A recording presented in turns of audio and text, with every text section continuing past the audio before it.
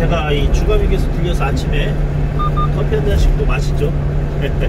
스타진 휴게소는 엄청 크고 화물차들이 많아갖고 새벽에 가면은 매연이 심할 때가 있거든요. 그래서 주가미개소를 종종 합니다. 이 화물차도 몇개 세워져 있긴 한데 이 작, 규모가 작아서 매연이 적을 수, 적, 적을 때가 아, 적죠. 가끔 이렇게 에, 연기가 안 빠져나가고 매연이 안 빠져나가고 막 휴게소 내에 가득할 때가 있어요. 왜냐면 그 저기 운전하시는 분들이 에, 시동을 끄면 좋은데 시동을 안 끄고 이렇게 그냥 정차해 놓으신 분들이 종종 있거든요. 이 화물차들이 또 매연이 장난 아니잖아요.